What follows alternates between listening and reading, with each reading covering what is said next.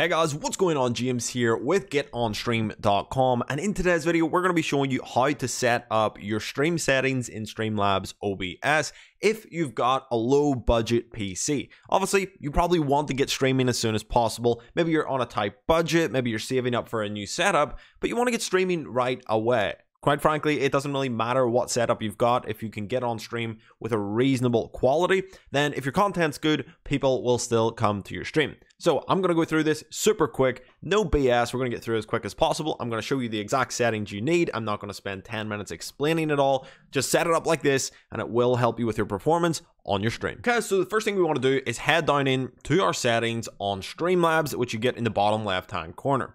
There's not many settings that we want to adjust here. You can leave pretty much everything at its default setting, bar these two tabs. The first one that we want to come into right here is video. And in video, we want to set our base canvas resolution and our output scaled resolution. Your base canvas is what you see here on your end, and the output is what your stream is going to see when they join the stream. So if again, if you're on a low end PC and you're streaming, you probably want to go ahead and knock this down to 1280 by 720. So that's going to give you a 1280 by 720 frame, which you can put, you know, your video on and your gameplay on all in the background.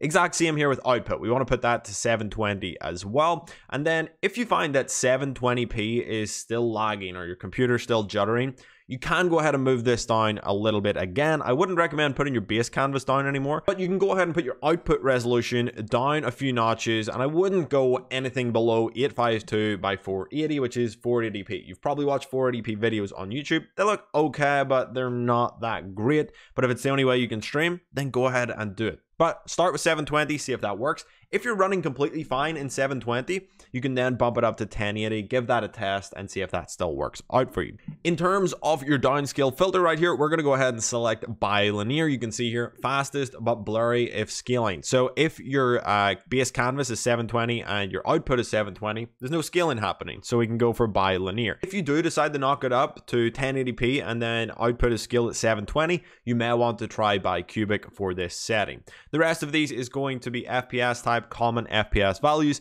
And then down here for your common FPS value, we're going to select 30. So you're streaming in 30 frames per second. That's all we need to do in the video tab. Next up is the output tab up here. In the output tab, we want to have output mode as advanced. Audio track 1 is fine. And this encoder part right here is a section that you're going to have to decide yourself. So software times 264 is essentially streaming from your CPU. And NVENC is a newer option that allows you to stream from your GPU. So it really depends on whether or not your GPU is powerful enough. You should do a search for your specific GPU and see if it is compatible with NVENC. If it is, it's probably better to stream with NVENC over software times 264. If it's not compatible, just go with software times 264. And I'll go ahead and I'll show you settings for both of these. First up is the software. So for software, we're going to have a rate control set at CBR right here. And we're going to first initially test our bit rate at 2500. If you're not a Twitch affiliate, keep it at 2500. If you are a Twitch affiliate, you can now go ahead and stream in higher bit rate. So you might want to go and bump that up to 3000. The higher the bit rate on your stream, the better it's going to look to your audience, but it's also going to use more resources from your computer computer. So start at 2500, especially if you're not a Twitch affiliate. If you're a Twitch affiliate, maybe bump it up to 3000 or so and test that out and see how it goes. Keyframe interval, we do not need to touch. We want our CPU usage preset to very fast. Our profile here should be main, and then our tune is none, and our times 264 options is also none. So those are going to be your settings if you're streaming with software times 264. If you're streaming here with hardware and NVENC, your settings are going to be a little bit different. If you're streaming with NVENC, your settings are going to be a little bit different. Right here with NVENC. Again, we want to go with CBR. We also want to go for a bit rate of 2500. However, our preset right here, what we want to do is change this to performance mode. Obviously, we want to get the most performance out of our setup. However, if you're streaming and things are fine, they're looking good, you can potentially bump that up to quality. But to start, stick with performance. That's going to give you the best possible performance. Again, profile is going to be switched over to main right here. It's going to be GPU 0 and max B frames is 2. And that is essentially all of the settings that you need to set up in Streamlabs OBS to get the most most out of your streaming setup on a low budget computer. So hopefully that helps you out with your Streamlabs OBS settings. However, if you're still having other problems or you're still not being able to stream in your computer, there's a few other things that you can do to try and improve your performance. First up is just closing out any unnecessary apps on your computer. If you have Spotify running, if any Google Chrome tabs are open at all, they're going to eat up RAM on your computer like crazy. Google Chrome just eats resources from your computer.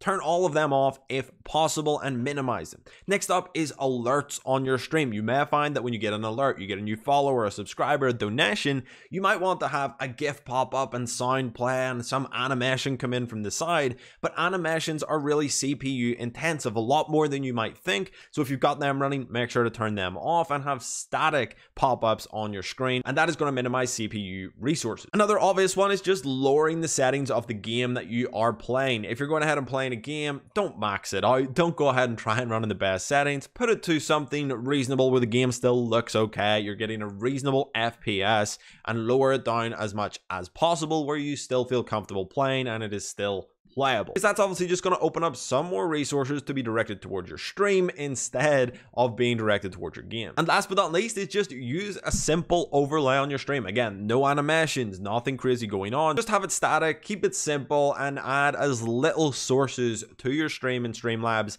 as possible. You don't want to go out there and have some crazy stream setup if you don't have the computer or the hardware to run it. Hopefully this video helped you guys out. Hopefully you can now go and stream. Hopefully it works on your computer. Let me know down below if it does. There is also a written article for this if you just want to check out the settings. It's down below in the description. You can see it here on the screen. It goes through everything that you need to know about this at getonstream.com. If you like these videos, make sure and hit that like button. Hit subscribe if you're new here, and I'll see you guys in the next one.